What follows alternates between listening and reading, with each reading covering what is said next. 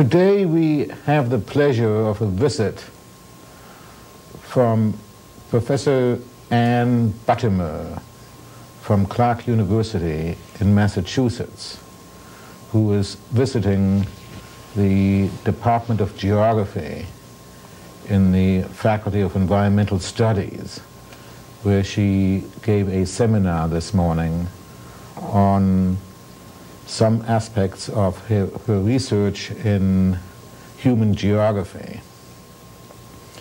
This afternoon, we're going to have a conversation with Professor Anne Buttimer, and joining us is Professor Leonard Guelke of the Department of Geography.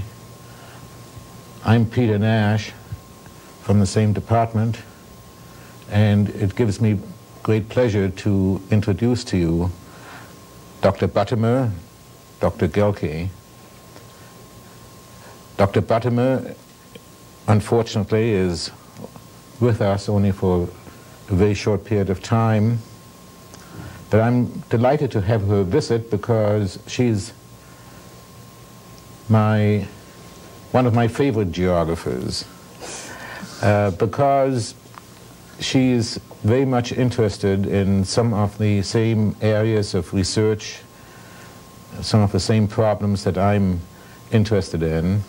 And this morning when I introduced Anne, that I, I indicated that perhaps she is now, as far as I'm concerned, the, uh, the first lady in geography.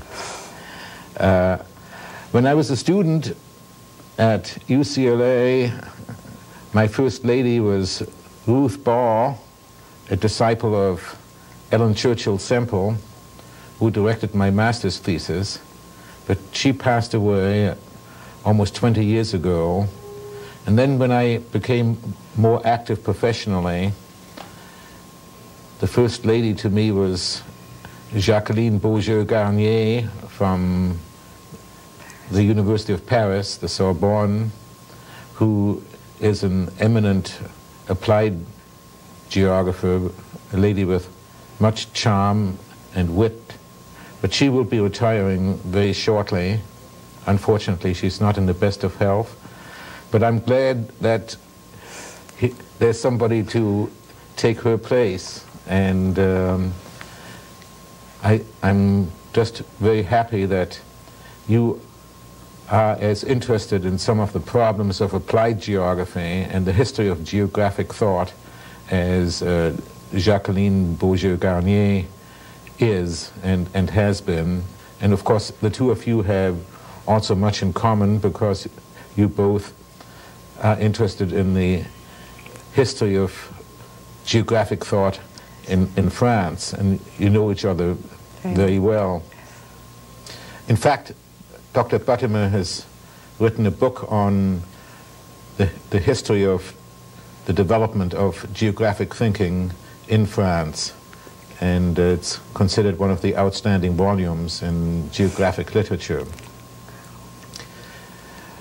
Perhaps to so that the uh, viewers can get to know you a little bit, Anne, would you tell them in a few words how you got interested in the field of geography. Um, how, uh, I know it's, it's a rather intriguing story. I don't want to steal your thunder, and I think it sounds uh, like a, a very special story when it comes from your own lips.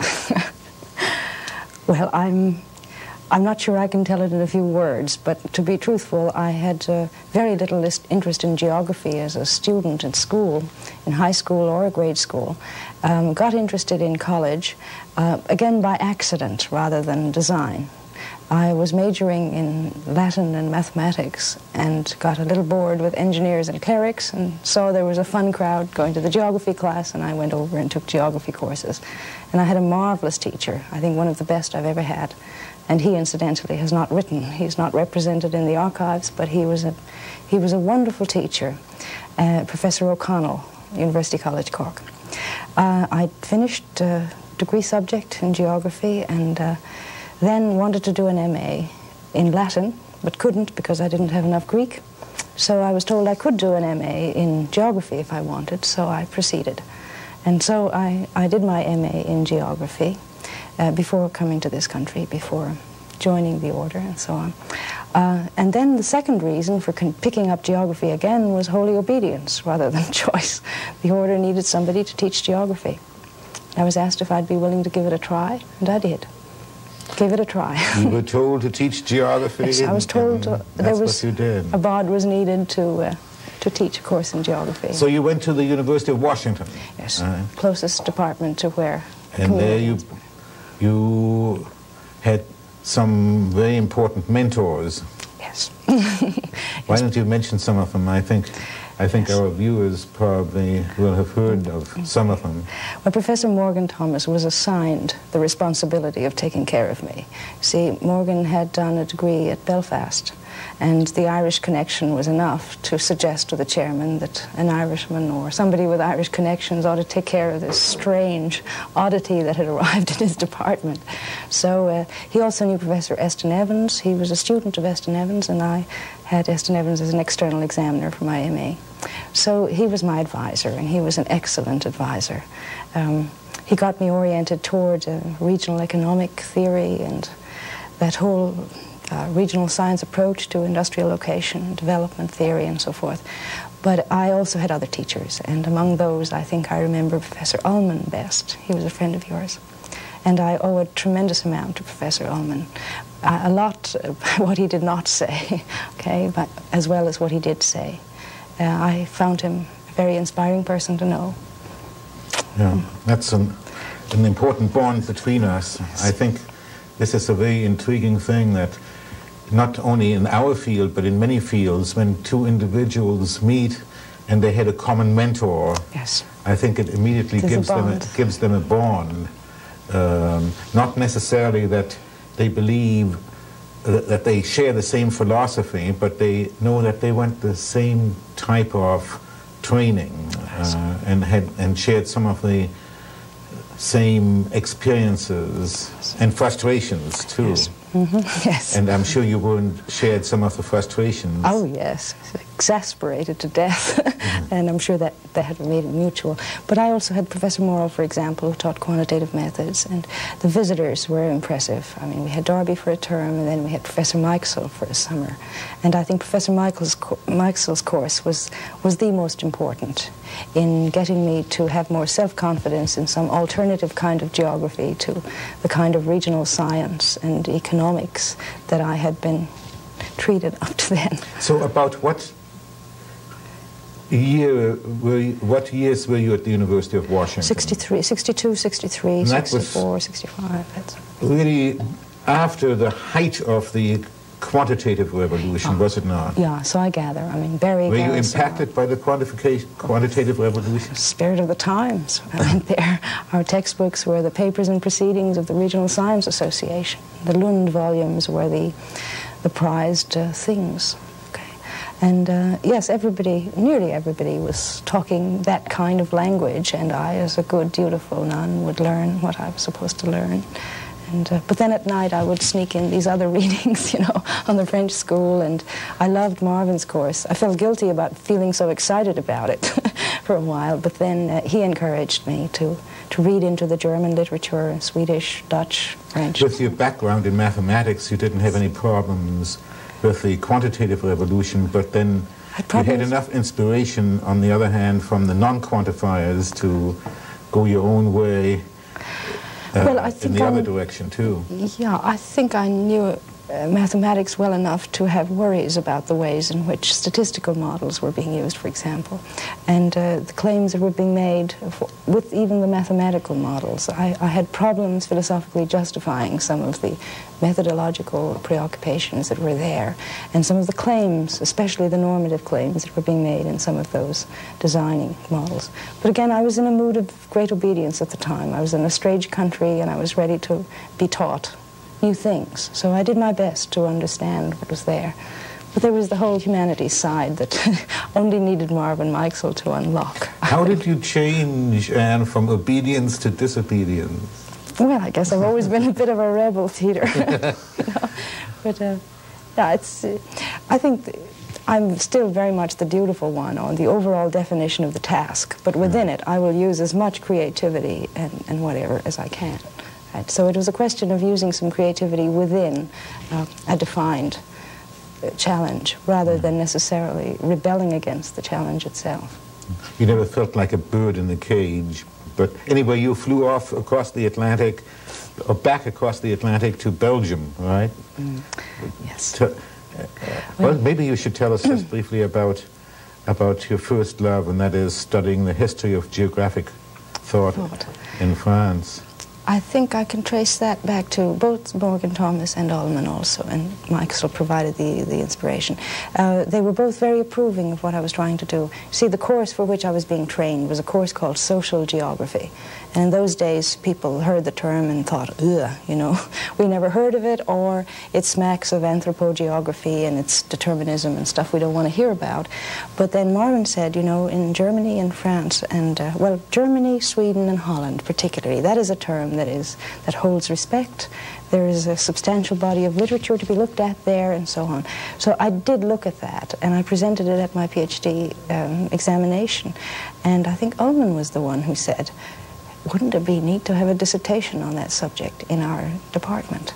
So you know, encouraged by that, I went ahead and looked at the French school. But it was entirely on the basis of literature and interlibrary loan and writing to friends all over the world and professors whose articles I had read, you know, please help me type letters. I've got to write a dissertation on social geography, and uh, most of them answered in, in the most helpful way. And so I finished the dissertation without ever going to France. Then one day, Ullman met me on the stairs and said, uh, you know, we could nominate somebody for a postdoc to Belgium. Have you got any interest or would you be allowed? And uh, I went straight away to find if I could get permission to go and study philosophy in Belgium. I knew that Louvain was a good school and I felt the lack of philosophical training. And to make a long story short, with the help of my friends, I got the fellowship and spent a year in Belgium and had many visits to France during that year finished up the book on just the French part of this dissertation during that year. That's so actually, you could perhaps be called the expert on francophone, on the francophone history of geographic thought outside of France and Belgium. Ooh, I, would hesitate to say no, that, Peter. Think, no well, way. You're, no. you're modest. I think no, no. Truly, right. truly, I had not. At the time, it was a plain story on the history of mm. ideas, mm. and it was very subjective. I picked up what was attractive to me, and I tried to construe it in a way that my dissertation supervisors would accept as a as a respectable dissertation. I, it would have taken me years to do it properly. Okay, and I wasn't aware of some of the philosophical nuances and questions that I would ask now about that literature. No, but no, I'm talking about you about your stature now. Um, I, I think if any English-speaking geographer wanted to know something salient about the philosophy of geography in France, if he couldn't go to France or didn't read French, I think he'd he would be well, well advised to come and talk to you, wouldn't he? Well, thank you, Peter. I would be. In, I would probably tell them who could really help them on that particular question. I would give them my own hunches, but I don't feel at all that I did a thorough job. And then again, I, I feel if I had, it might have taken ten years, and people wouldn't know about the tradition. Yeah. Now at least they can be sort of attracted toward a questioning of the tradition because what I wrote was so simple-minded in some ways. It was, mm. it was a description of the. But when, when you wrote your uh, uh, thesis on, on French geography, did you see that as somehow being relevant to the modern geography? And how did you counter the argument that French geography was a peculiar product of France and that that whole sort of humanistic approach had really been superseded by modern positivist geography. Mm-hmm. Uh, did people sort of suggest that uh, this was a sort of uh, a school that had, was good in its time but was no longer relevant? I don't know if they put it exactly as you've put it, Len, but there were many who felt um, if they're worth their salt, they would already have been translated and people would have already picked up the key ideas, you know. One anthropologist told me that. And uh, I still had a conviction that there were dimensions of inquiry which the French had practiced, which were not practiced in the Anglo world and that they needed to be practiced in the Anglo world. Um, you see, I have to go back again to my childhood experience of being an Irish farmer's daughter, right, growing up in the countryside. And uh, the kind of geography the French were doing was the kind of geography that my country needed to, to be educated in self-understanding, I felt. Much more so than the kind of um, materialistically oriented uh, mapping of form which uh, was being done, I think, in the Anglo world. Estyn Evans did a very sensitive work on, on, on my country, and so did Walter Freeman, uh, do a very thorough job. But I felt that there was something in the, the prose style and in the general conceptual orientations of, say, Max Sorre, uh, which made me feel his approach to La Géographie Humaine would have been perfect for the kind of experience from which I came. All right, so I felt that some of those were enduring, and one of them was this the beginning of this insider-outsider uh, conception of things, that the residents have a world of experience and the scholar has a world of experience. But the scholar is the one who articulates the description of that place from his own world of training and experience, and it may be quite opaque to the lived experience of those who are actually farmers and fishermen and residents. You see what I mean? So that was the element I think that I got from the French school, which I felt would have enduring significance, and argued to that in that way. Okay? Uh-huh. Yeah. When you went to Belgium, did you find the sort of the philosophy you did there helped you to sort of put some of these ideas in, in, in a sort of philosophical uh, context? Yes, yes, definitely, definitely. You see, the wave at that time was very much phenomenology, existentialism, and the beginnings of hermeneutics, okay? But for me, it was a strange world of thought.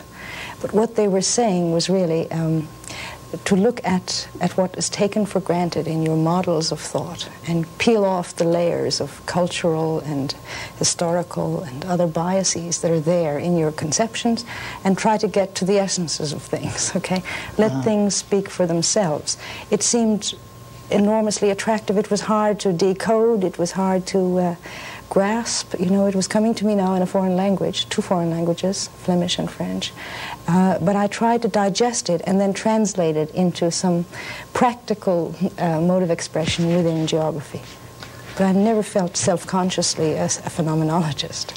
Uh-huh. You, know you, have sometimes been described as a, a humanist geographer, yes. but I understand that that term uh, is not entirely to your liking. Well, I, I'm against um, ghettoization or, or, fragmentation of the geographic enterprise. And I feel that, like I said this morning, when you set up a, a team to take care of one dimension of geographic inquiry and give it a, its own journal, its own capital letter title and all, then all the other groups leave it to them to be the humanists. And they can be the as gross a technocrat as they want to be uh, and say, oh, well, if you're worried about values or that philosophy, we have, a, we have a section of our department that takes care of that. Do you see what I mean? And I feel very strongly that everyone who practices geography needs to be aware of the, some of the human dimensions of what they're doing. Okay?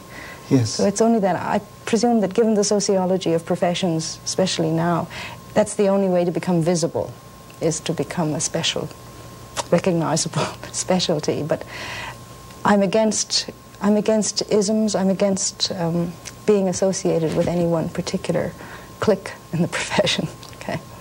And maybe it's my own feeling about that, the isms and the cliques, rather than this argument I just gave you first, which makes me so opposed to being called humanistic geographer.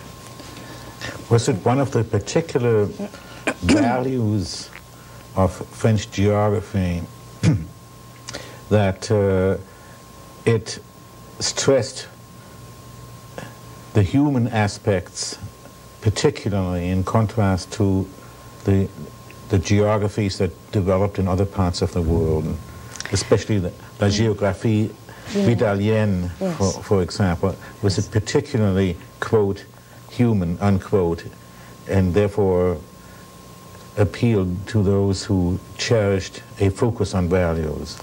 Mm, I think it was more a refusal to separate the human and the physical okay? Or to get caught in that whole Verstehen Wissen controversy that split German and Anglo at the time. It felt, I think Vidal believed in the unity of life in the world. That was an a priori stance on his part.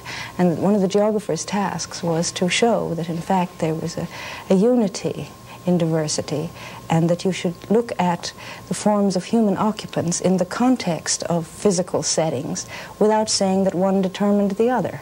There was a sort of a, a drama of human relations to nature that had to be looked at as a whole. Okay. So you two could have a pretty good fight, couldn't you, with the Verstehen Wissen uh, juxtaposition or idealism, um, whereas I think a, a good idealist, then, really doesn't want to fuse physical geography with human geography uh, you like to separate them. Uh, ide idealism really isn't concerned particularly with geomorphology and climatology and those things.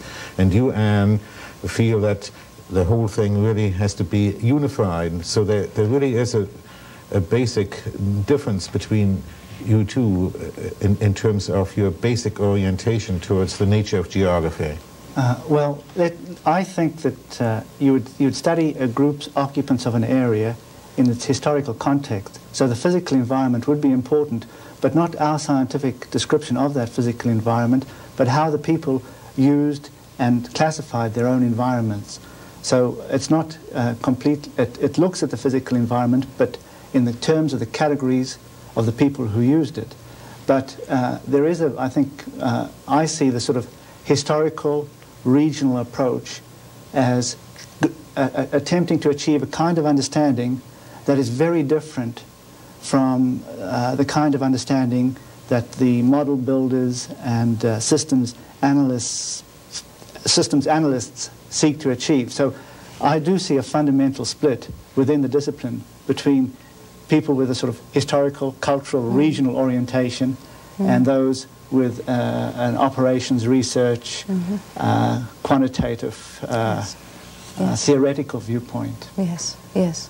Yes, I have no disagreement with, with those distinctions at all, nor am I a Vidalian in the sense of proclaiming the Vidalian doctrine. I have found it inspiring, and it has helped me understand the literature of that period, and I see how appealing it could be for people coming from the background from which I come. But the, my own conception of geography has, has emerged through a number of subsequent experiences as well. In our conversations yeah. yesterday or today, we really haven't mentioned Emmanuel de Martonne at all. Right. Uh, is it just an accident, or is it that you really think of him as, as a, a minor a minor geographer, just a son-in-law, maybe. No, uh, he was the heavy, you see, he, and I have a thing about uh, heavies. Okay. I deliberately don't mention them as often as perhaps they should be mentioned. I think that he was uh, he was the one who was responsible for for keeping geography well established after mm-hmm. 26 mm -hmm. and so on. He and Demangeon were the big names, and I do give Demangeon a lot of space in that monograph, but I hardly mention de Martonne. I gather that he was. Um, primarily a physical geographer. And he was rather authoritarian and did not have as many students as, say, Demangeon. Uh, I wasn't attracted to, to, physical geography at that moment. I didn't perhaps do justice to the physical morphology tradition in the French school. I was interested in human geography. Okay? And I, then, for me, the crucial contrast was between Max Sorre and Demangeon. And I had no doubt, but Max Sorre was much more attractive to me than, it, than was. And I had this split at the time which I labeled as the ideational versus the artifactual, okay? And Demangeon was the super artifactualist in a way. He was Carl Sauer did it better, right? He was the big IGU man who organized committees on this, that, and the other and decided which student thesis was going to get well reviewed and which wasn't, and so on. But Max Sorre was the, um, in some ways, a bavard. He, he would chat away about little topics of various kinds and so on. But he would always keep the ecological question at the center. And I felt that was where the connection between the human and the physical was best made in the French tradition. So he pioneered on medical geography long before the IGU recognized it as an issue. He was talking about the soci social structures and uh, the production forces and so on. And he never felt obliged to join any bandwagon, ideological bandwagon, uh, with his fairly critical views of the old artifactual tradition. Okay? So in other words, I, I was very selective in what I said about the French school, and I happened to like Max Sorre. Mm-hmm. And I admire Demangeon. This was an incredible monument of effort, no doubt about it. But there was something missing by way of that spark that made it hang together, which I found in Sorre and didn't find in Demangeon. It's a, I will admit, it's my own subjective aesthetic choice of two styles of geography. Mm. Genre de vie, of course, is something yes. that you talk about yes. a great deal, yes. which intrigues me because actually one could say that in many regions in France, the genre de vie is very similar. It's not the genre de vie that divides France into regions, but it's the physical landscape maybe you, you, might want to contradict me here, but um, it seems to me, maybe we can have a little discussion on, along that line for a moment, that as soon as I think about France, I think of the, um, its regional characteristics. Mm-hmm. Normandy, Brittany, the, the Rhone Valley, the Mediterranean region, the mm-hmm. Massif Central, etc., etc. And, and, and, I see all these physical divisions. Mm-hmm and they're based on the physical mm-hmm. um, elements and, uh, and not on genre de vie, de vie because the genre de vie in, in, in, in many of these are very similar. Mm-hmm. Uh, am I, uh, do I lack expertise here? I'm sure you... Don't be, don't be, don't be kind in your answer. No, I just reformulate in some way. If you could say uh, both and rather than either or.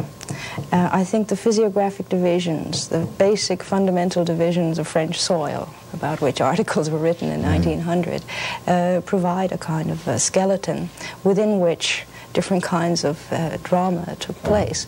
Um, and each, you could speak of a regional genre de vie if it was a pays, for example, that had an internal spatial um, circumference within which there was an identifiable genre de vie. But I didn't think that that was the thing that was open to analytical scrutiny so much mm. as the livelihood-based genre de vie. And there you could look at the economics of a particular occupation whether it was leather or glass blowing or farming or commercial activity. And you could look at its, its everyday scheduling of activities and the economic and social forces that, that were operating there. You could look at the mentality, values, habits, traditions of work that were there, and you could look at the impact of that livelihood on the physical base. Now, all right, so most of the Bretons were paysans. And uh, there was a difference between the, uh, the herders and the pastoralists, the vegetable growers and so on. But um, the fact that the regions were more important than the genre de vie, in your view, could be that there was more homogeneity of livelihood base genre de vie than, than there is now. Okay. But I felt that the livelihood-based one, if you look at it in terms of values and attitudes and beliefs, and also the ecological impact of a genre de vie on the landscape, you had something that was open to analytical scrutiny, and at the same time something that could give you a more cohesive look at the interaction of man and nature in any particular spot. Isn't this still yes, a, a, fundamental concept that we could use in yes. studying today's societies yes, in modern geography? Yeah. I think analysis of stress, for example, could be elucidated by looking at just an occupation. What we as professors do, you know, how our bodies and heads synchronize on attitudes toward space and time and so on. We talked about that last night. Yes. good. Do you think, Anne, that modern geography um, has something to contribute to knowledge that's very basic? I know it's a very broad question. Uh, I don't think I'd continue uh, being a geographer if I didn't believe that. Can, yeah. can this be identified and focused on, this, mm-hmm. this yeah. whatever it is that geography contributes to knowledge? This, in, in terms of verstehen, in terms of the understanding of uh, environments. Um, I, I say that I wouldn't continue in geography if I didn't believe that the answer was yes. Uh, but I also say that, that each of us has perhaps a unique type of contribution to make. And I wouldn't dare legislate for the profession as a whole. I, I think I can make uh, statements about what living geographers say they have done. And I can pick out works that have been done, texts that have been produced, which to my mind are edifying either in terms of self-understanding or understanding the world. Um, I know what I feel would be worthwhile doing now as a geographer, and I'm delighted to have an academic community in which I can continue to, uh, to give and receive and get critique for what I'm doing. But I, I wouldn't dare make a general statement for all geographers to follow. Okay? Now, what is, its, what is the kernel of its contribution? I think um, I have to go around that in various ways. I still put the Socratic thing foremost. Uh, know yourself and know your world, and then begin to understand other worlds. Okay? So you engage in a dialogue which enables you to understand other people's experiences of their world, understanding your own at the same time. I think that's the precondition for any kind of objective discussion about whether we should plan our country this way or that, whether we should invest in this kind of system or that. Uh, I think that this self-understanding and the understanding of other people is the crucial thing that geography can help bring to education. So this self-knowledge is really yes. paramount, and I think this is where both you, Len, and Anne, you very much agree here, right? Yes, yes. Mm. What, it's the focus, it's really the primary focus in the research of both of you. You're, yours in historical geography in terms of what you're doing in your research on South Africa, you're, yours in, in the philosophy of, of geography. Yeah, well, one thing that sort of uh, bothered me about geography in the, in the late 60s and early 70s was that it seemed to lack entirely this dimension. And you could produce models of flows without having any insight into the society that generated these flows. And it, it, it made for what I considered a fairly sterile approach. Mm -hmm.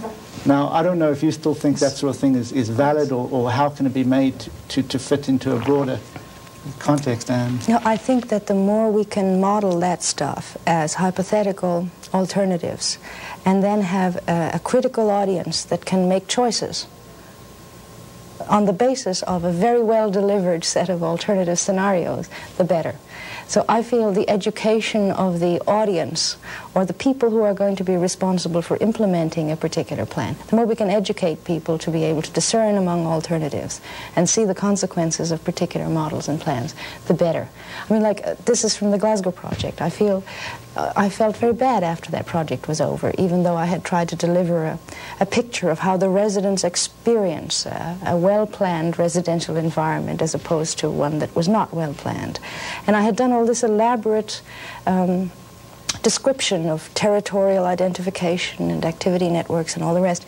So I get an elegant article produced, all right, and, and published.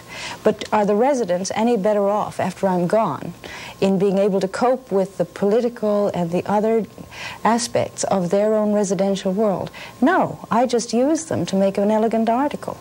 Maybe the planners could read that and not make the same mistakes again, but in a way I hadn't generated any connections between the, the lived world of residents and the lived world of planners.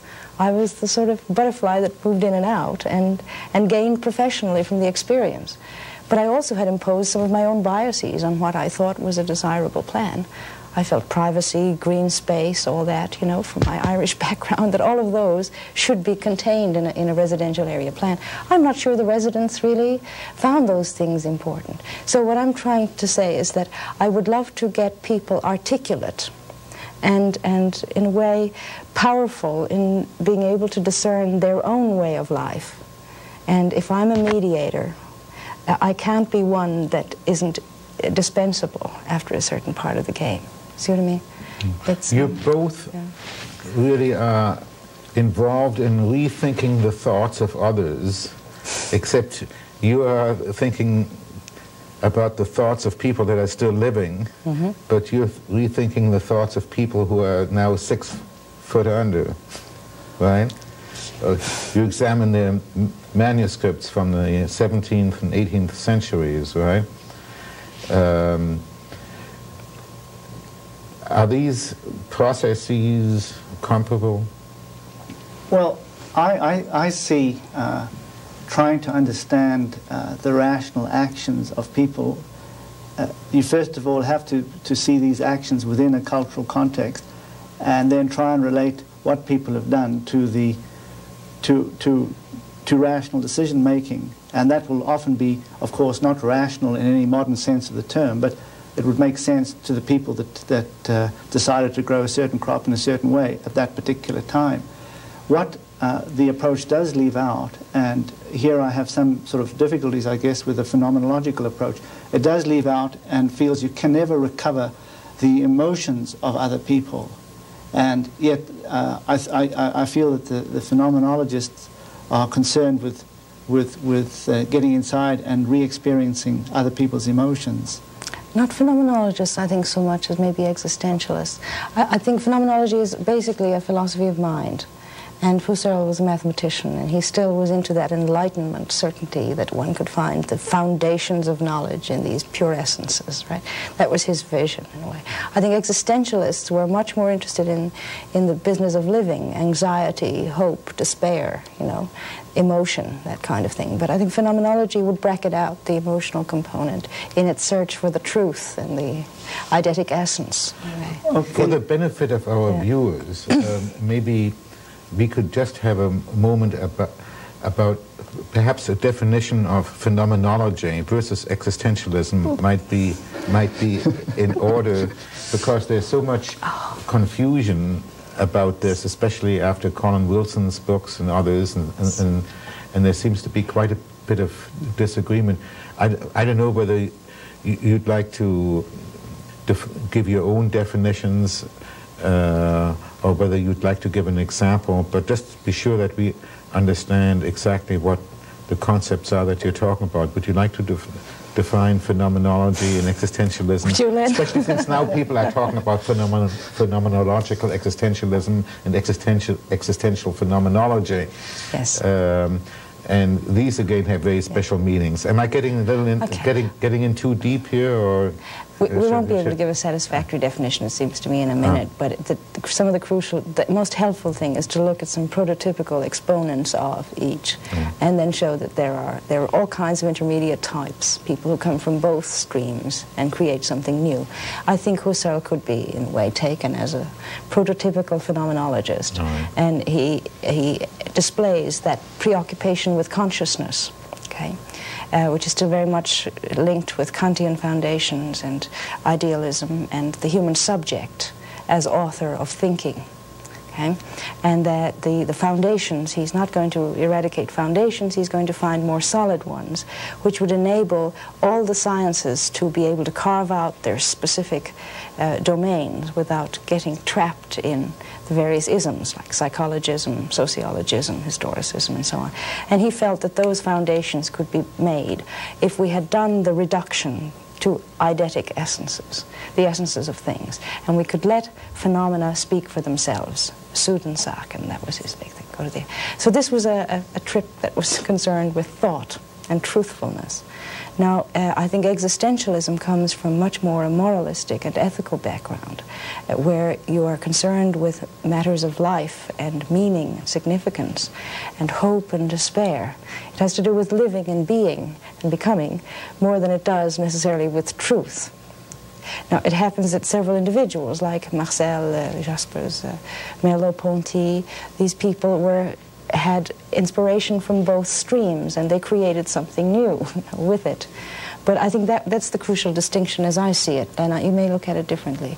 Well, yeah. uh, not, not from a, in, a, in, a, philosophical context, but looking at the work that, that has been labeled phenomenological within geography, mm -hmm. it seems that perhaps it should, would be better named existential mm. because the author seems to get involved in, in, in presenting a particular point of view or re regretting that uh, peasant life has passed, mm. regretting the, yes. the placelessness of modern society, yes. so that it doesn't seem to fit into the sort of objectivity that Mm-hmm. Husserl seemed to have been aiming for. Right, right. And I think that, but that is not of the essence of the field. I think authors bring their own baggage of ideological preference to the phenomenological procedure and dub it accordingly. You can have Marxist existentialists and Christian, Christian existentialists who uh, disagree ideologically but still find existentialism as a mode of approaching knowledge which is attractive to them. Okay? So I think that people, and especially in this country, I, I think that many people use the word without ever reading the, au- the original authors. It has become a kind of convenient label in which to dump any and all kinds of critique sometimes. And um, then there is a missionary uh, aspect to some of the work that's written on alienation and so forth, which, uh, which others may call phenomenological, but I think which Husserl would turn in his grave if he recognized. So I think that that's the accident of, of language and translation.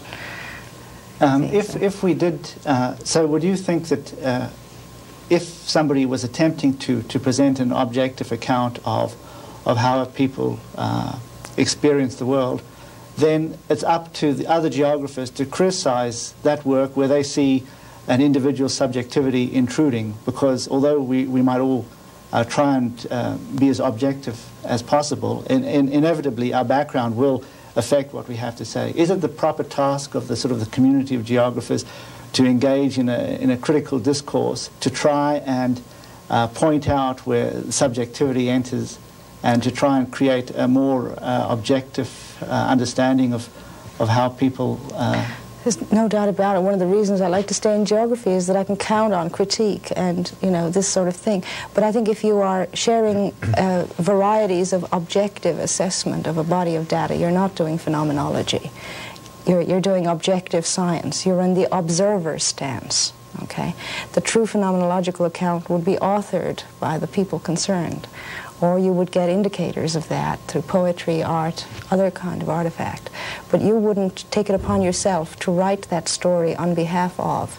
I see. Okay? I think that's the crucial difference. Yes.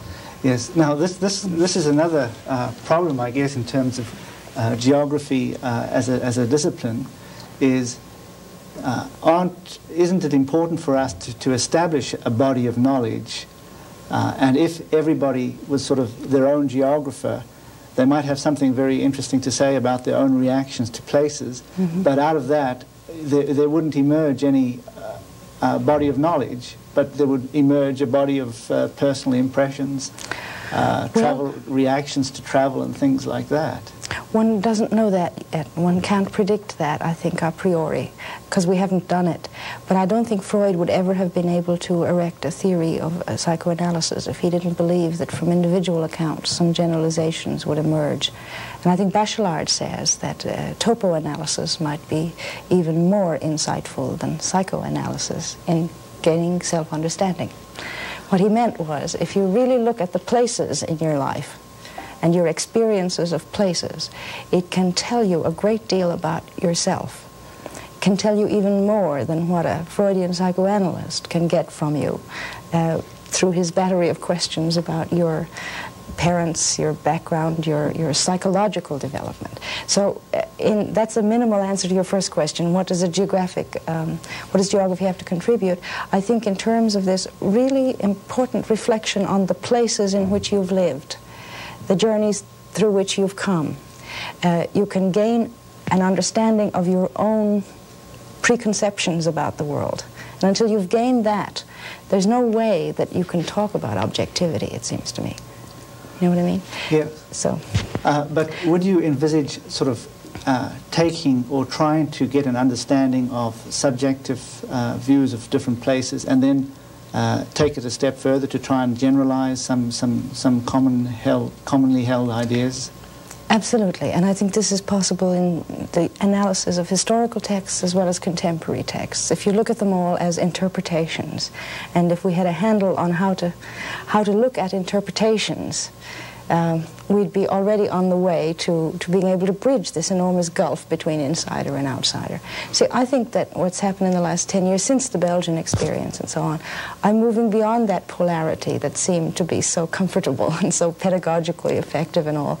Uh, you have subjective and objective, you know, and in which camp do you belong, sort of thing. Uh, but what I've really been looking for through all this dialogue with the Swedes and, you know, the humanist technocrat dialogue is to find um, uh, dimensions on which there can be a tuning in to each other's wavelengths. And I find that uh, in the world of symbols, okay, symbolic uh, transformations of, of, data to words, to maps, to, to models, in that area of symbol making, I think there is a fundamental uh, dimension of humanness. And that when people tell of their experiences of places, they will tell it using symbols. Some people use poetry, some pictures, some music, some words. Um, you will find symbols, among which are metaphors, uh, which can enable insider and outsider to grasp what is being discussed. So it's, I see a, a, movement away from the literalness, the unequivocalness of this objective language of mathematics and so on, and the extreme, the potential for extreme subjectivity on this part, to meet on a common ground of symbol making, and in what symbols uh, can we really build bridges between different interpretations of the world. So that's why I'm so keen on metaphor right now. yes, we will be talking about that yeah. in just a few moments because I think we ought to discuss a little bit about some of the research you've been doing mm -hmm. on the various types of metaphors and to, to what extent they can be related to some of the epistemologies that, that we've been talking about. Maybe this will be a good time for us to take a short break and then uh, after that we can perhaps start in on just discuss some of the um, the relationship of some of the epistemologies to each other and then the root metaphors on which um, Anne has been working so diligently. So let's take a break right now and then reconvene in about 10 minutes. Grand. Thank good. you. We've had a little break now. During the first hour here with Dr. Anne Buttimer and Dr. Leonard Guelke, we discussed first Dr. Buttimer's background, her journey from her youth, her education, to her geographical studies and her current research. And then we discussed somewhat her current ongoing research some of her philosophical views. At this point, I think we should examine somewhat what the various epistemologies in geography are all about. And this is, here are some questions I would like to ask you, Anne, and you also, Len. Although you're already somewhat acquainted and not just superficially with, with my views. It is more and more difficult for geographers to think about the nature of what they're doing, uh, to decide whether or not to, they belong to any particular school of thought. Even when we examine ourselves, it is very difficult for us to ask ourselves the question, what philosophy do I embrace? Uh, with what epistemology do I identify? In earlier days, it was much easier. In fact, our intellectual forebears weren't bothered by this question. Humboldt, Ritter, Hettner, Ratzel, even Hartshorne really weren't bothered by this very difficult question at all. well, first there were dichotomies, and then later on there was a three-party system. Geography was described as, in terms of paradigms, especially after Kuhn's book appeared. But now everybody's talking about epistemologies. In a recent attempt, I tried to make a chart which showed 10 epistemologies in a reasonably logical order. I won't list them all at this point. And then 10 criteria for evaluation. And um, so I had a grid of 100 squares, and fortunately I was able to put something in each particular square, which says something about what kind of a geographer I am, and you can comment on that later.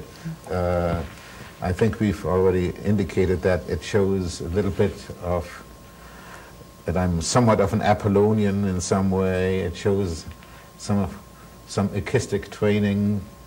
Um, it um, it also has an implication here of a grill.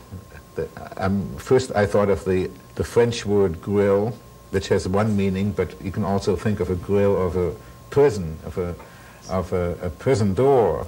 And I don't want to be imprisoned by this particular uh, analogy.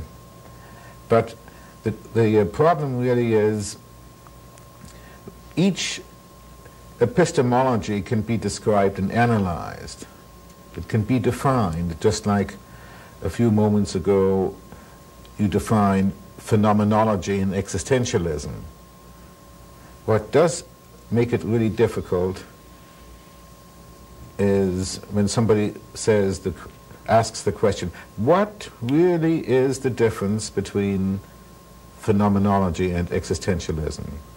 And then we get these more minute points that, that interfere.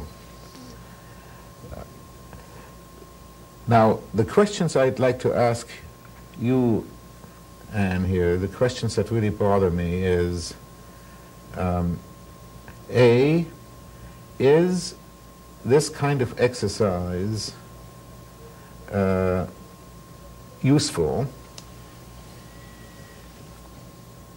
You've, you've, you've seen the grid and you've seen some of the papers I've written. B, um, is it, uh, does it um,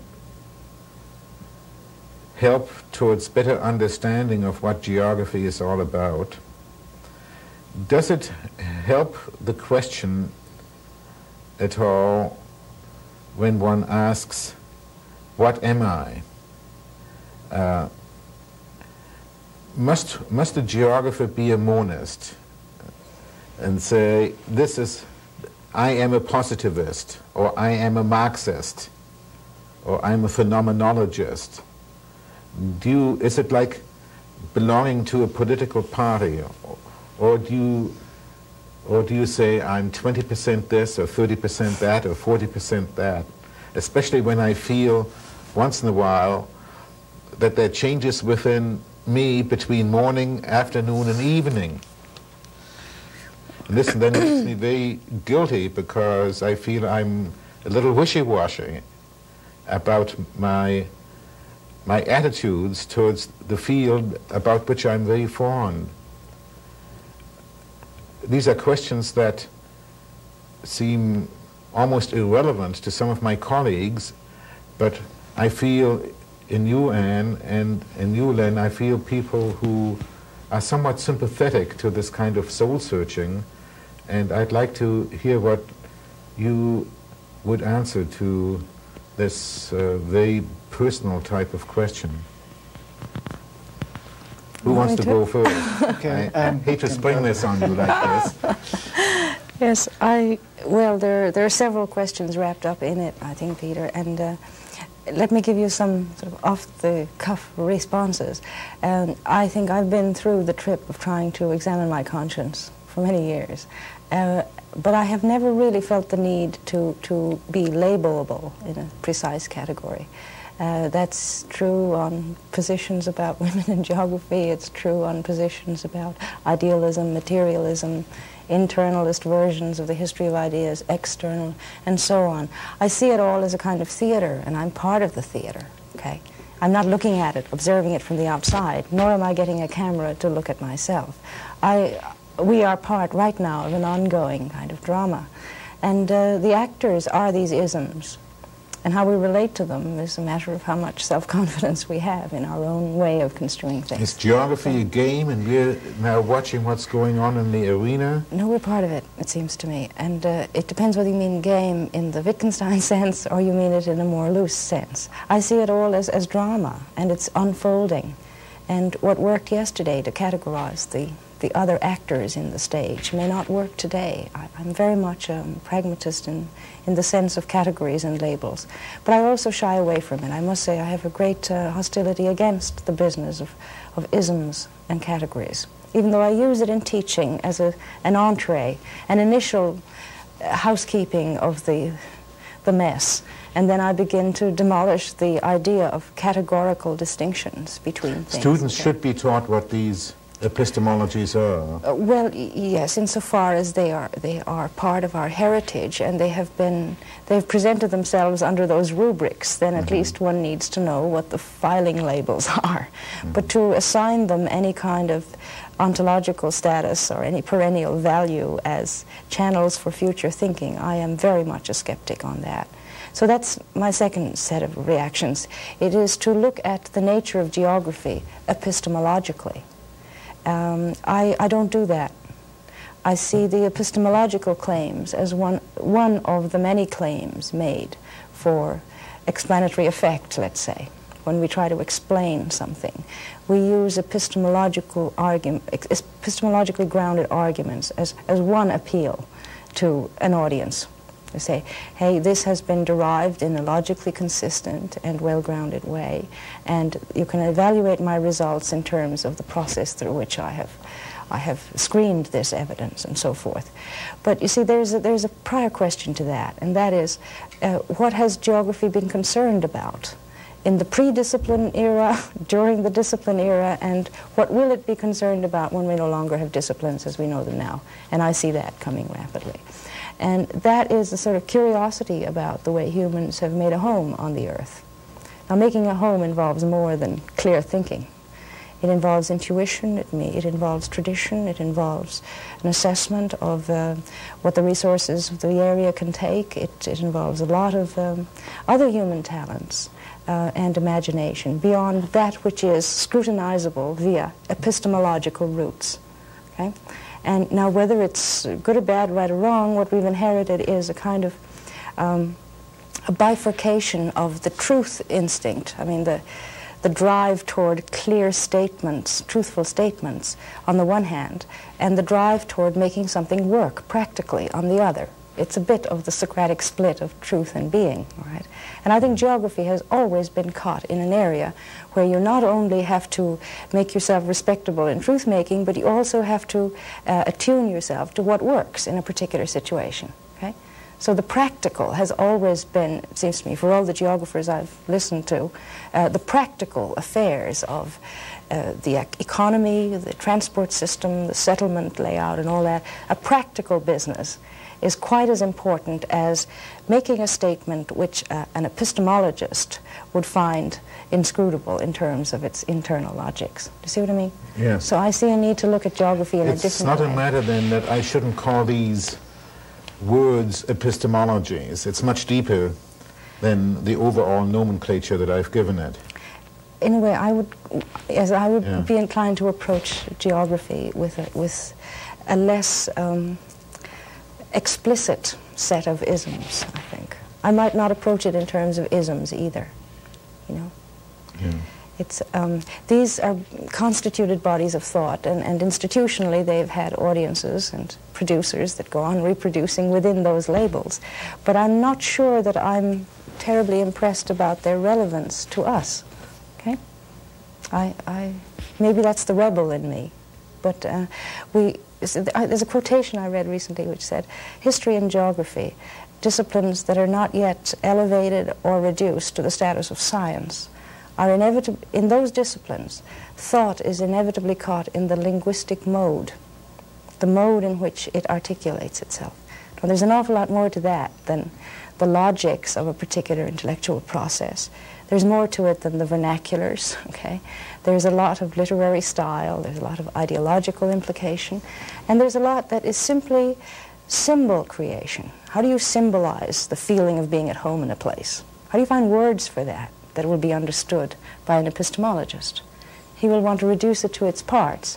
But if a geographer can understand another geographer as he says that, and if the people who live in a place can understand it, isn't it just as valuable a form of symbol making as, you know, a mathematical equation? Well, there's, there's a, an, a geographic epistemology that like, would like to, to, to see uh, geography re reduced to almost symbolic logic, sure. right? Sure.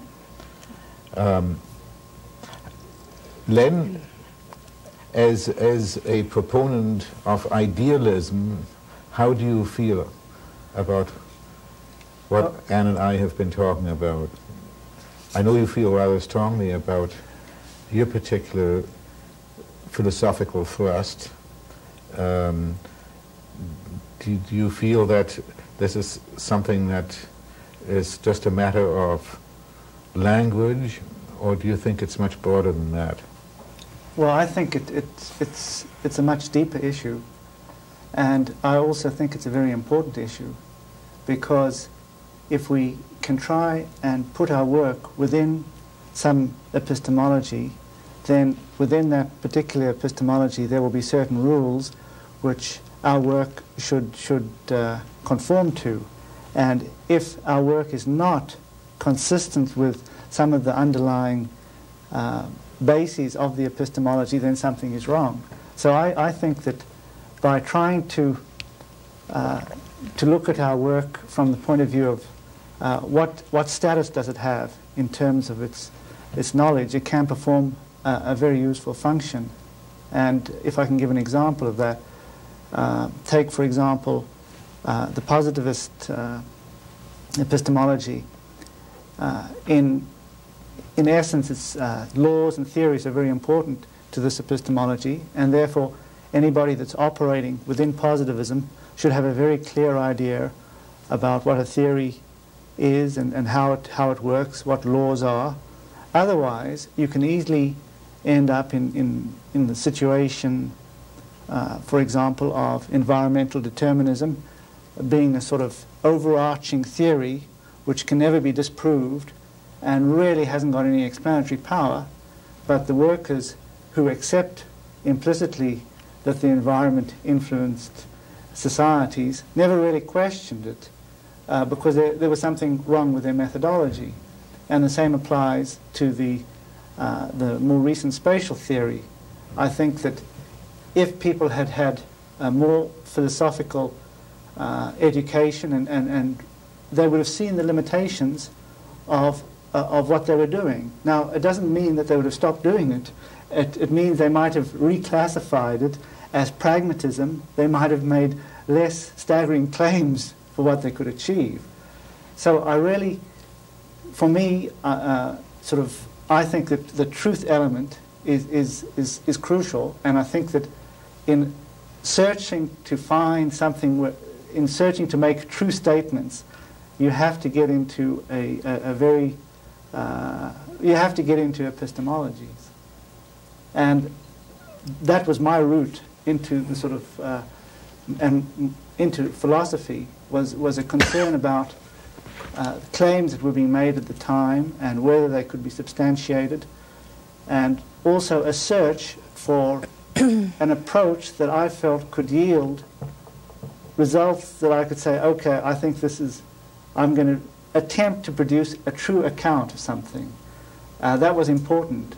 But at the same time, and uh, somewhat of a paradox, I would admit that no fully true account can ever be given.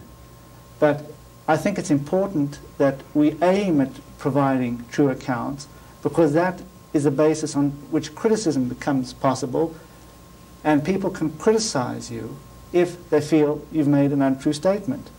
And this immediately implies your statements are based on, on evidence.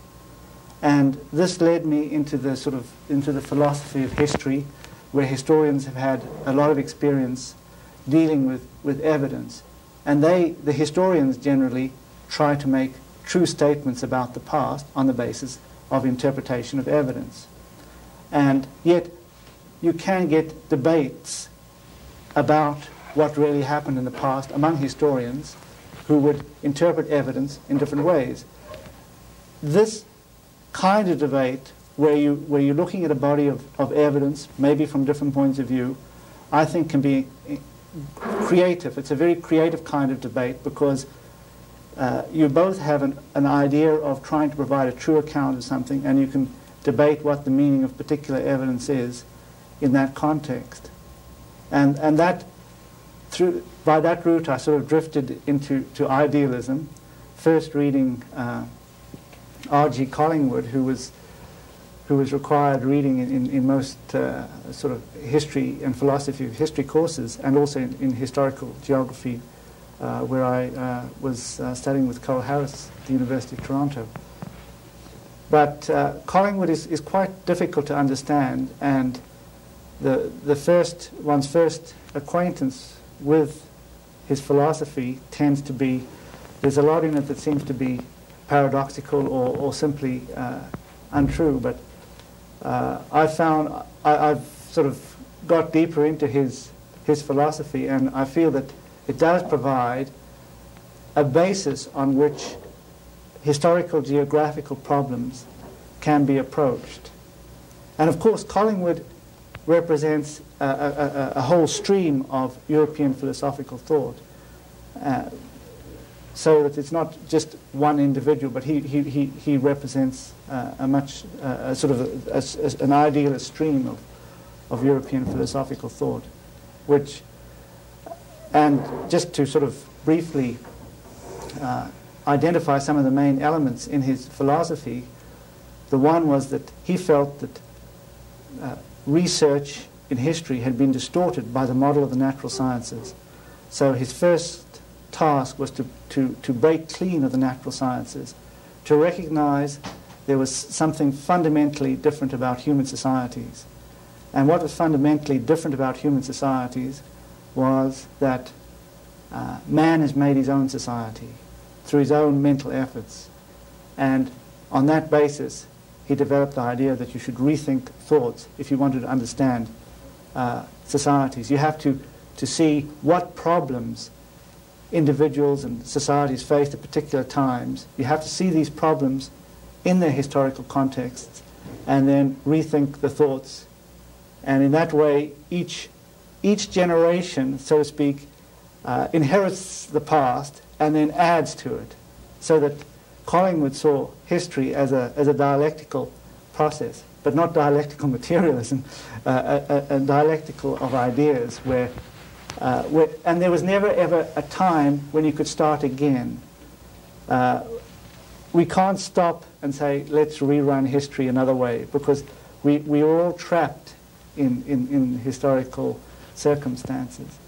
Doesn't this almost have a religious overtone? And uh, I, one could, I suppose, hear that. I didn't hear it. I wasn't listening for that part of it, but there's no question a, that that is that it's, part it's of it. It's a strong conviction, a strong, mm-hmm. strong mm. belief, but a, a, a, very logic-tight one, right?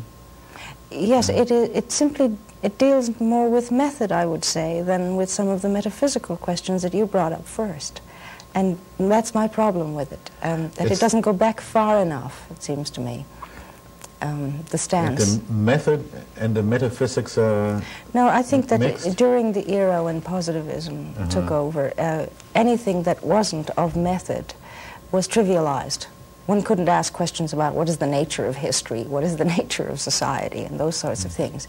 You asked, how can I deliver a truthful statement given the data that's unequivocally you know, This is very interesting. In, in the new book that has just come out, Themes in Geographic Thought, in which Len has a chapter. I don't know whether you've I've seen, seen it yet, unfortunately, no. Um, there's a chapter on positivism which gives you a test. Uh, to, are you or are you not a, or have you ever been a positivist? Uh-huh. ten, ten true false questions.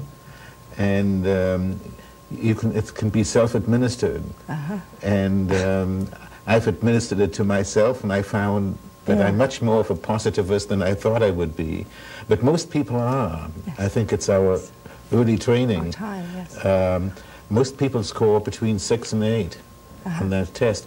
But the reason I'm just happen to think of it is that most of the questions in that test, and correct me if I'm wrong, Len, are concerned with method, Yes. right? Yes. Mm.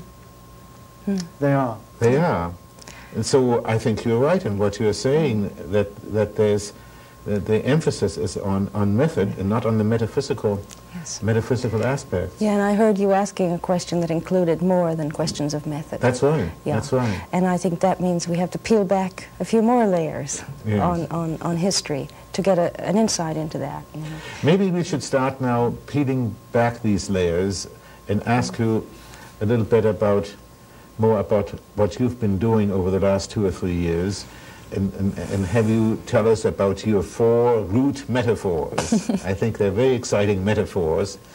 Uh, I won't steal your thunder and name them, but I'll let you go through them one by one, and, and maybe we will, maybe we won't interrupt you, but I think you should mention each one and what you mean by them, and then maybe we can just talk about your four metaphors. hmm? Okay. Okay. And because I, I think Uh, they, they, they, in tandem with some other classifications, give us a much deeper understanding of what geographic knowledge is all about. Mm, I hope maybe, yes. I hmm. don't think I'll be able to tell everything of what I've been up to in the last two years, but hmm. we can just just introduce metaphor Yeah. in the Let- context. Let's introduce yes. metaphors Okay. as such. All right, so I, I sort of am very agnostic about this positive era and philosophy of science that only looks at method in a way. Uh, and I go back to, to issues like what is the nature of human occupants of a place? Um, how does one, how do people make a home in particular places? Right? How do they name it? How do they claim it? How do they use it? And how do they distribute it among society and all that? Okay, I ask a question that has to do with uh, the nature of man, the nature of society, and so on. And uh, I'm very impressed with Susanne Langer's assertion that beyond all these uh, caption labels we have for mankind as Homo ludens, Homo rationale, Homo economicus, all these other captions. She, said, she says what is most specifically human of all living forms is this desire to create symbols, is the symbol-making capacity. Okay? So people create symbols around which they can organize collective life. These may be sonic, visual, artistic, whatever. It can be words and languages. And one very advanced form of symbol making is metaphor.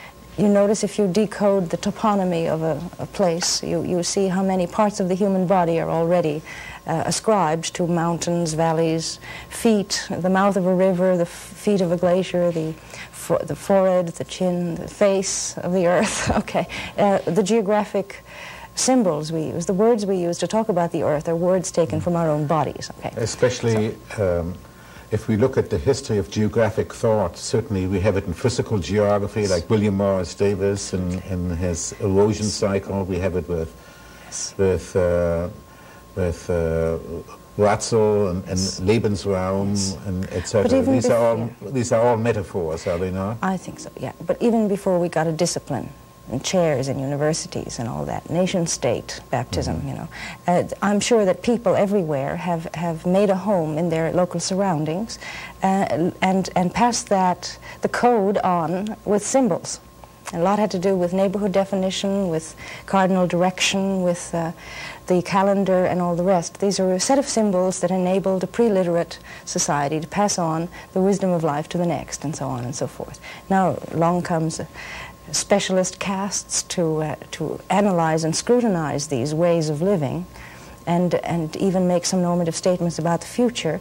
And my question is, how well have we attuned ourselves to what mankind has learned in history about living with the earth?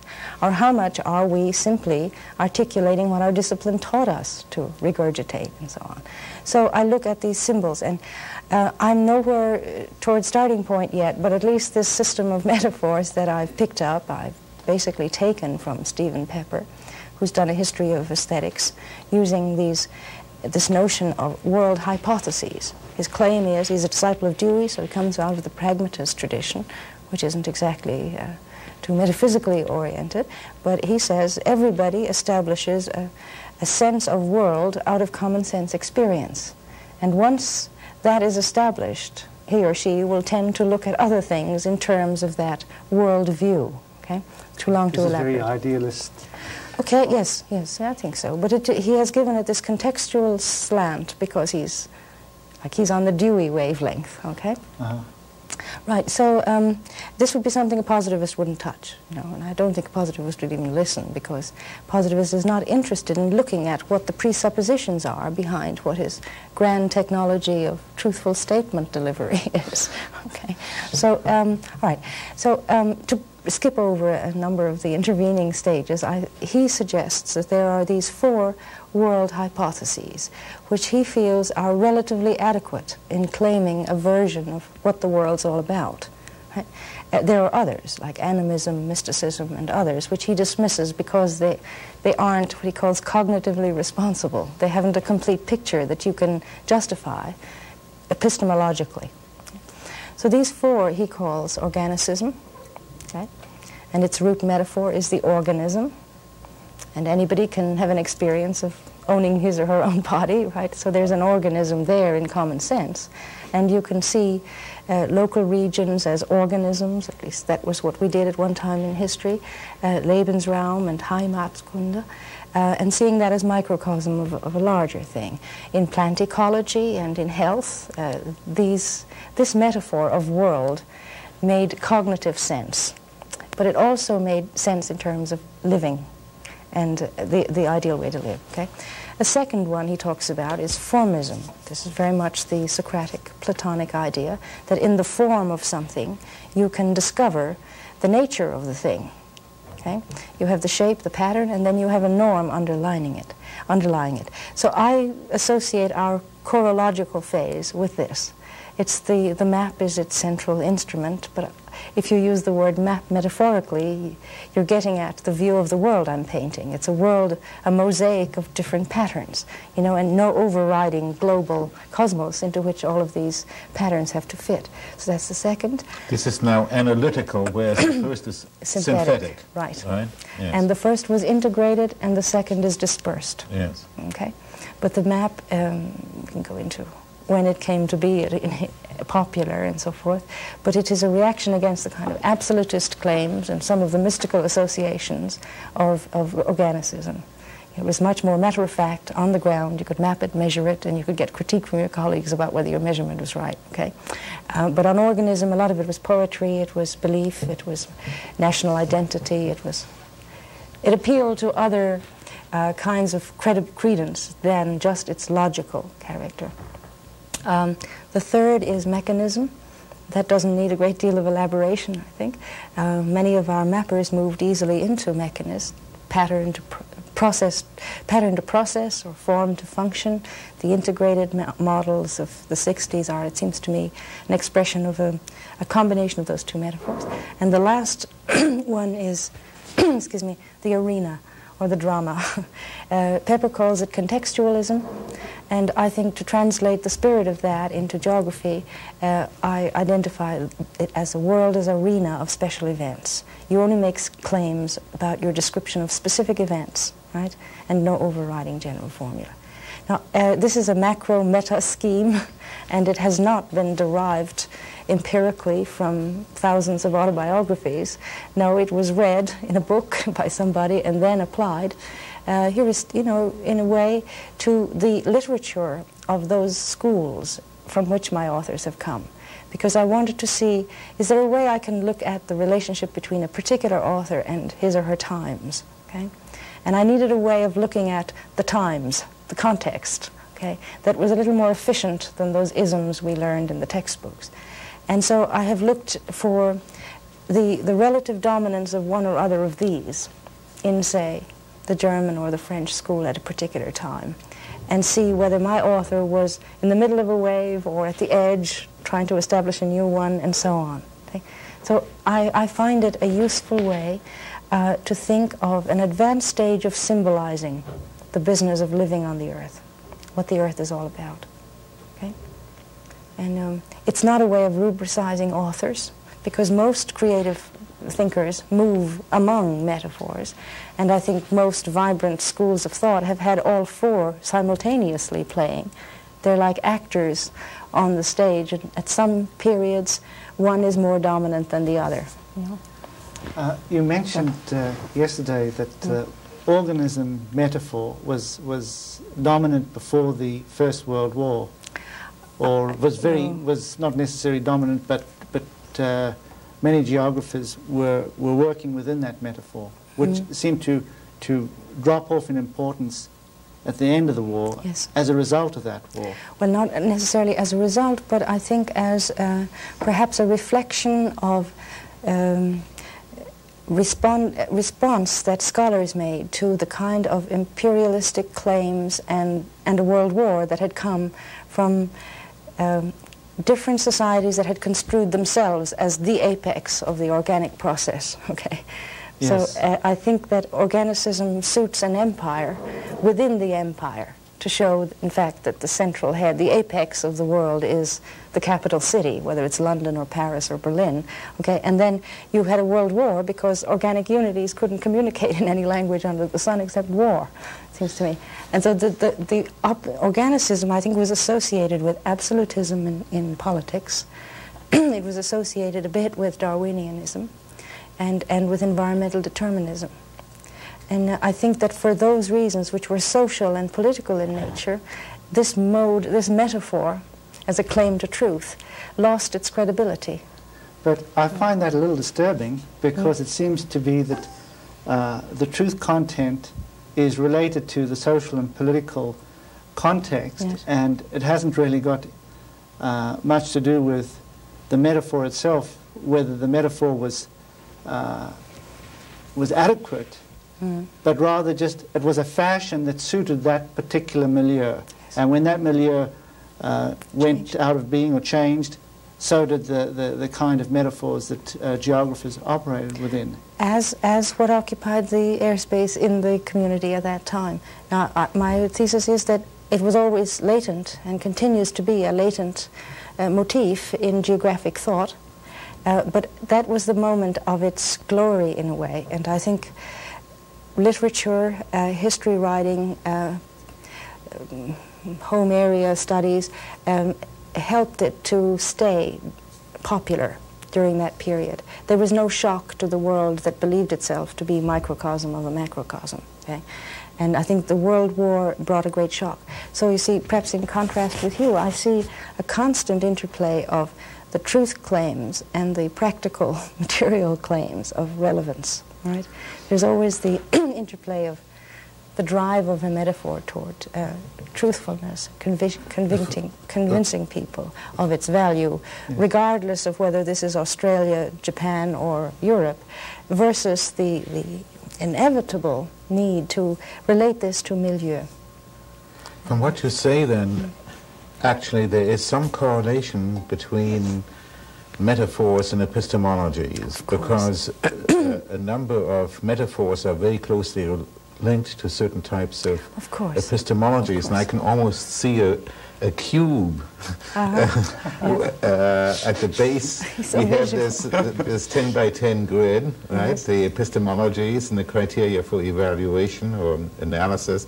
And on top, I can see your four metaphors uh-huh. and, and these various flows uh, over time.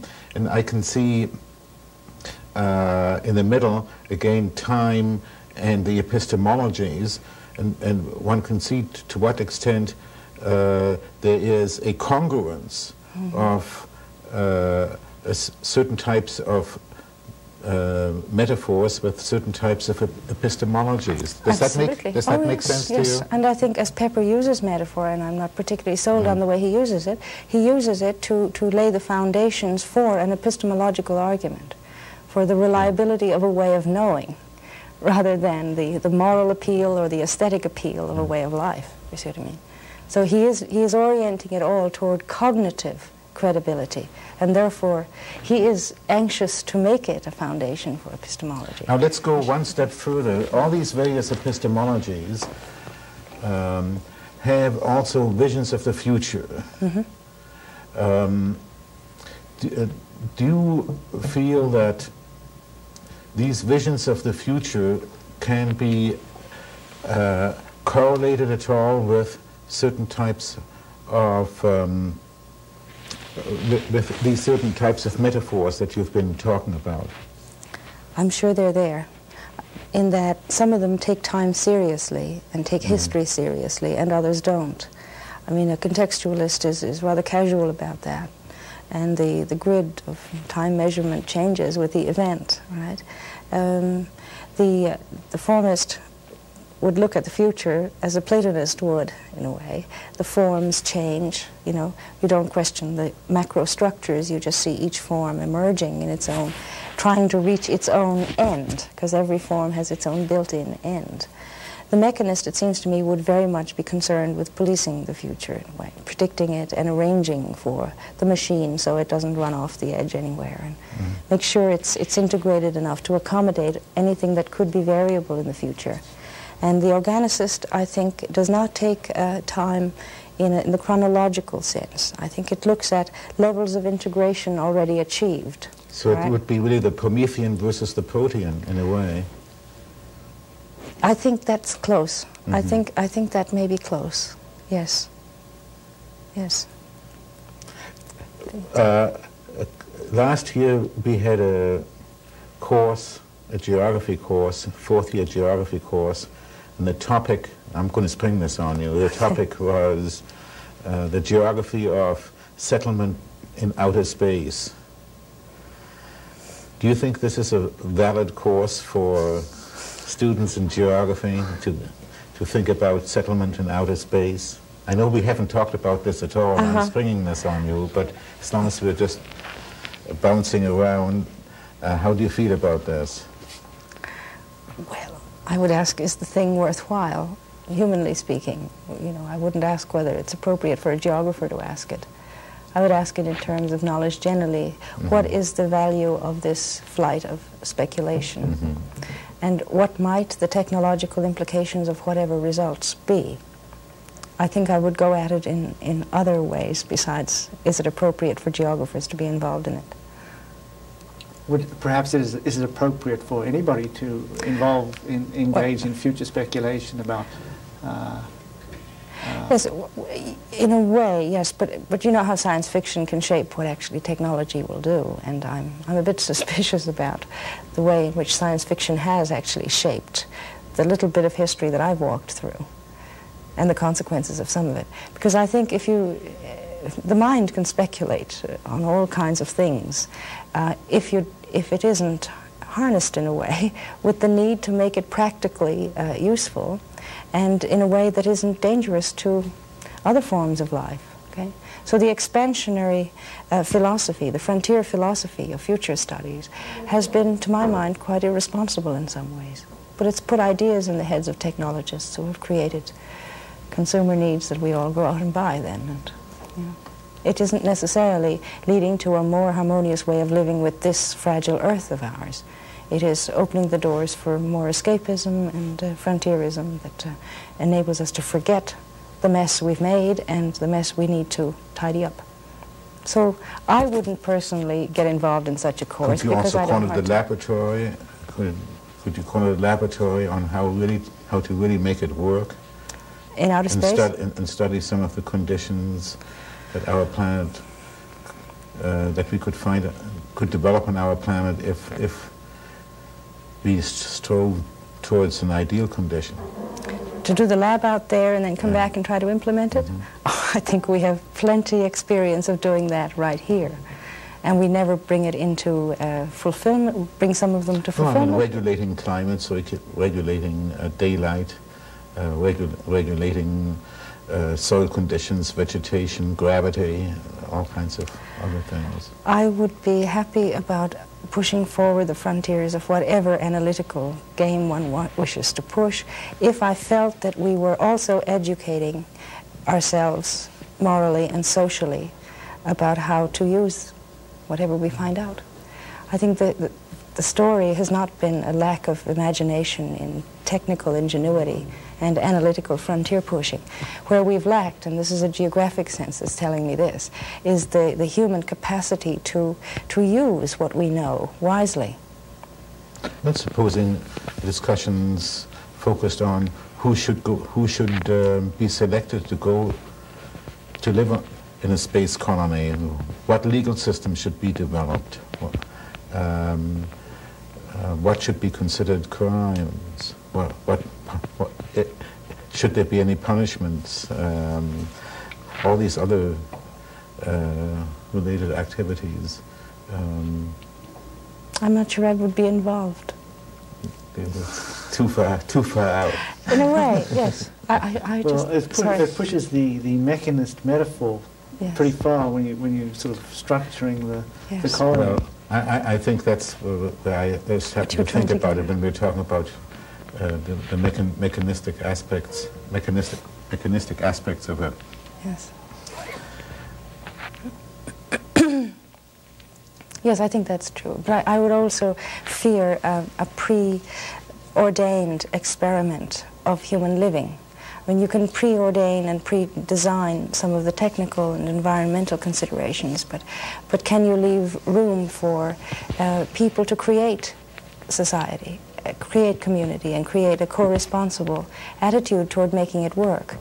Um, the thing that is so tragic about the dream and reality of some of our social engineering experiments is that not enough room is left for uh, evoking co-responsible uh, and creative community building on the part of the people who are supposed to live there. You know, if you ask me, would you go if you were, who sh how should we select? I mean, are you assuming there'd be some alphabetical list or some, you know, printout of bio whatever of individuals and then you find the suitable team and fly them out there? I think that would be a, a recipe for failure to begin with. Well, but the question is, how should it be done? Supposing we, we could send uh, 5,000 human, humans into, into space, to a space colony. Well, how should they be selected? Take a look, page from history. How did the New England people do it? The community, in a way, was formed in the process of moving. Okay. At least you didn't, you didn't say Australia. the wild colonial boy. Or, the African slaves, of course, in right, the New World. Right, yes. I would find it a bit appalling. Mm-hmm. Uh, a few days ago, uh, we had a lecture given to us here at the university uh, on the grasshopper. Yes. It was a recapitulation on the old Aesop fable on the grasshopper and the ant. Mm. And uh, I uh, have had a little correspondence here with Professor Suits. First I asked him whether the grasshoppers could be considered Dionysians and the ants Apollonians, and he said absolutely not, because games uh, the, the, uh, always must be based on very strict rules and regulations. Mm -hmm. And uh, the only type of recreational activity that could be considered Dionysian would be um, drunken brawls or drug tripping and things like that. Now, when contemplating our utopian existence, um, and especially since you also have rather strong religious convictions. Uh, can you in any way uh, verbalize your own image of utopia, especially when, as Professor Suits says, the instrumentally valued activities are no longer necessary and only intrinsically valued activities are carried on. And you can see then what my next question will be about how this relates to geography, instrumentally versus intrinsically valued activities. But um, have, you, have you thought about utopia at all as to how we will spend our time in utopia? Yes, Uh, a little bit, not systematically, but I've looked at different uh, utopian plans in terms Mhm. of their geographic implications. We had a dissertation on the anarchist experience in Mhm. Spain, for example. Uh, I, um, what the geography of the utopia would look like, or, Or just nature- no, not necessarily the Yeah. geography, just what will we be doing? And, and uh, I suppose we'll, our, our planning of that utopia will have to depend to some extent on what we'll be doing, what games we will be playing that will have intrinsic values. Mm-hmm. Mm-hmm. It's very hard to do that without looking at the market and the, the force which economics has come to play in the recent centuries in giving people a sense of worth in terms of their take-home pay um, and the structuration of society that's associated with that. So in my utopia, we would have already melted those two imperatives, okay? Um, which takes a bit of imagination to do. But I, I base it on my own experience, okay? 17 years as a nun. And I never earned anything and didn't ever, uh, you know, have status beyond just one of the community. And those are the high years of my life, no doubt about it. The times when I could be, could study, could work, could interact, could play, uh, without any concern about the status or the market value of what I was doing. So to me, that, that is a, an element of the utopia in which I would like to live. I would also like um, a situation where specialist elitism uh, were either less and less necessary or that it could be educated to be more responsible. Responsible for the basic human need to take a creative say in designing one's own environment, in taking a responsible part in running whatever institutions or workplaces one is involved in. And I don't mean this in a totally anarchist frame. Uh, I think that, that human personhood evolves out of taking responsibility as well as being true to oneself. And so too, communities become societies to the extent that it's possible for them to embrace a larger horizon of responsibility than their own special interests. So I have a geographic picture of utopia. Um, it has, I think the, the, the geography of it would have to follow from these basic um, assumptions about what is, what is the human person about, and so on. Uh, that means that there's a lot that needs revision about the present way we run things. And I think there's an enormous amount to be learned from, from the East just now. And I anticipate, in, before I die, that uh, Euro-America will be part of history. People will do, be doing an archaeology on some of the games we've been playing because the center of life will be somewhere else. And I'm not sure I'm ready for that, but I'd, uh, I'd like to be ready for that. I'd also like to encourage it. You feel we pay a little too much attention on, in, in geography, on the, on uh, instrumentally Yes. valued activities and not enough on intrinsically valued activities? Well, I think there are two big sources of that in our recent history. One is positivism, the other is Marxism.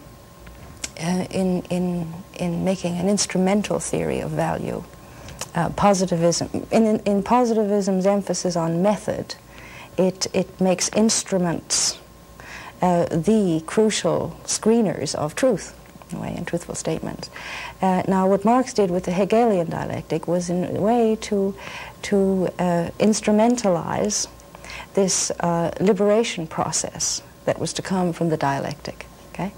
Uh, I don't know whether one should ascribe that to Marx or to Marxists, but an instrumental theory of value became, uh, became central focus rather than the emancipatory one that was there in Hegel's time.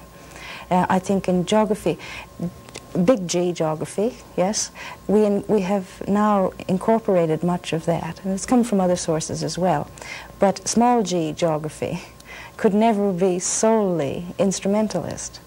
It was making a home with the earth and, and the wisdom that generations had built up on that. Uh, so I want to see the post-discipline period regaining some of the things we had before we became mistresses of the nation state. With these eloquent words, Anne, I think we'll bring our dialogue to a close. Uh, thank you very much for sharing these two hours with, with us. Um, it's been illuminating to Len and myself to to hear your views. It's been a delightful afternoon, and I hope we'll have the pleasure of a visit from you again soon.